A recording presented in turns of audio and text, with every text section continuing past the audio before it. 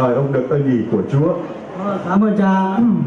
Con ờ, được hai ơn. Thế trước hết là con là ơn thứ nhất là con ờ, về cái sỏi sỏi của con ấy. tức là cái sỏi thân. Là con đi tiểu nó ra bằng ngón tay này. Thứ hai là cái, các cái khớp của con ấy là nó sưng hết từ ngón chân này đi, không đi được phải người cõng không? Vâng cái uh, thứ ba nữa là cái xương khớp của con đi chờ rẫy uh, chiếu chụp là họ bảo thoái hóa hết rồi. Đêm con nằm là phải vần. Rất nhiều đêm là phải phải phải có người vần lên này với, với, với ngồi dậy được. Vâng. Cái nữa là cái dạ dày của con đấy là nó bị viêm suốt viêm suốt hết. Đấy và như vậy nó có cái cái cục bằng ngón tay ở trong dạ dày này. Đấy họ bảo là khối u. Đấy là bốn bốn bốn thứ bốn bốn loại bệnh thế mà con xuống ờ, đây nhờ ờ, xin xin ơn của Chúa và cha cùng cộng đoàn à, cầu ờ, khấn cho con là giờ con khỏi tiền không còn bệnh gì giờ con khỏe chả có gì các cái anh tên là gì Dạ, con là An Tôn Phạm Đăng Trường ở con đạo Tân Tòng. Con 68 tuổi. Và con giờ đang ở là giáo giáo xứ Bình Minh, huyện Bù Đăng, tỉnh Phước. Còn anh ờ, theo đạo từ năm bao nhiêu tuổi À, con theo đạo từ năm 60 tuổi. 60 tuổi mới theo đạo á Vâng, vâng.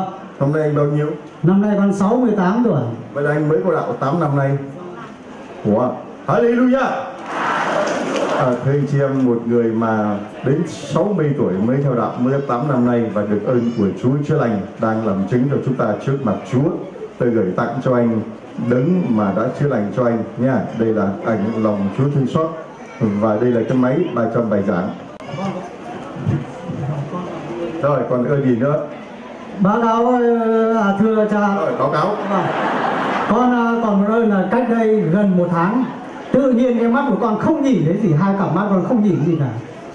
Đấy thế là con đi xuống cái viện đồng xoài Người ta cho thuốc Về nhỏ càng càng không thấy gì hết Đấy đi xuống ba lần. Thế nào vợ con là người đào gốc. Nó bảo ờ, suốt đêm cầu về cầu khấn về. Bảo thôi lại ông tôi xin xếp cho ông đi xuống trà Long. Thế là cái hôm kia là con xuống là con trước khi con bảo đi xuống là tự nhiên là mắt con nó sáng sáng dần à. Thế là con cứ mò mò con đi ra bến xe được. Thế là con xuống đây nếu mà đi đằng trước thì con không nhìn thấy gì cả.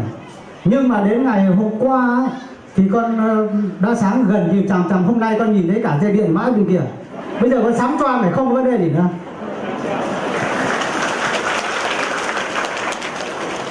Đọc tôi cái chữ này coi vâng trang ờ, đây trang tín thao rồi đọc đúng hình giấy.